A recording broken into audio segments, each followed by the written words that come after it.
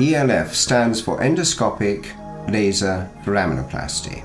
It's a bit of a mouthful, I appreciate, but it is a keyhole laser driven technique for patients with chronic back pain, multi level disc degeneration, slip discs, instability, and those who have had failures as a consequence of previous open spinal surgery.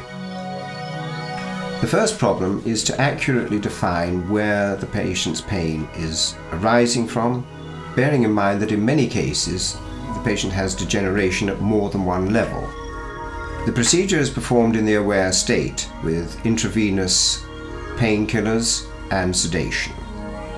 But the patient is able to guide the surgeon as to the source of the pain whilst he gently probes the doorway through which the nerves leave the spinal canal which over the years you as patients have shown us is where the pain seems to be arising.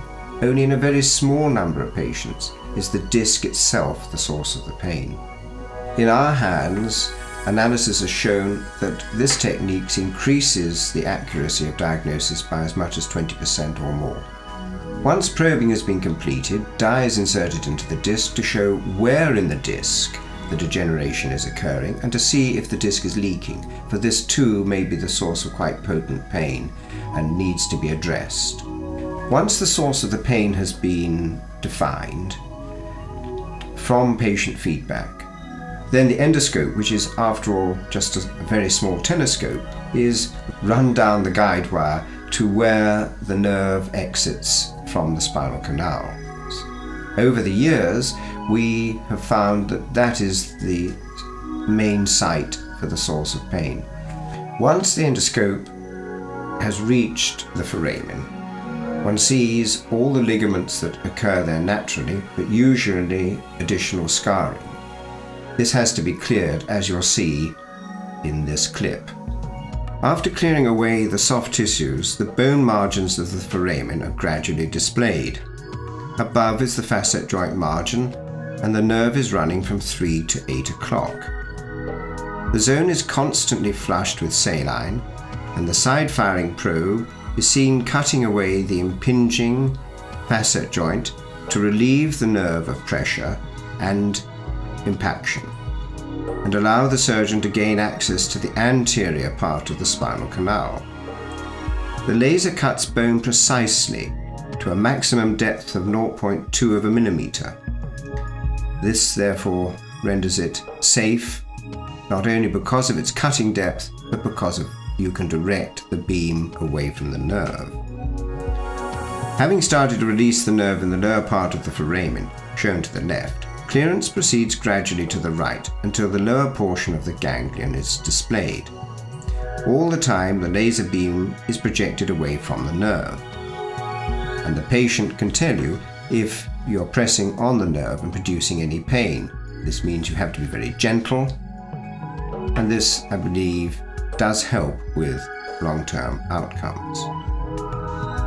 The x ray of this case shows that the disc space opposite to the working tube has virtually disappeared through degeneration and would normally be treated by fusion and in the frontal picture, large bone spurs project from the side of the vertebrae. The endoscope is elliptical and rotated counterclockwise to gain access to the apex of the foramen. Here we encounter the superior foraminal ligament, obviously densely attached to the nerve, which is irritated at this point, and the site of long term vascularized adhesions or scarring. This ligament acts as a guillotine on the nerve and must be trimmed back. This is difficult to achieve from the conventional midline approach because of access and lack of line of sight. The X-ray shows that the working sleeve is gradually advancing through the foramen as clearance and decompression is achieved. With the nerve cleared in the tunnel of the foramen and along its length, attention turns to the disc itself. The inner margin of the nerve is seen passing from 1 to 6 o'clock, and the degenerate disc is seen as a shiny, silvery surface, with the brown discoloration of advanced degeneration. The endoscope rotates for access, and the nerve pathway is now falling along a line from 3 to 6 o'clock. The laser probe is replaced by a guarded knife, which is inserted into the disc. Normally, when the disc is better preserved, the working sleeve would be advanced into the disc so that manual and laser clearance of the degenerate and irritating material can be removed under vision. Here, access is limited and the disc wall fibrotic. Rather than disturb the stability afforded by the internal scarring, the laser is inserted to ablate the breakdown products and to shrink the redundant disc wall. Small manual graspers are inserted to remove loose disc material from within the disc space.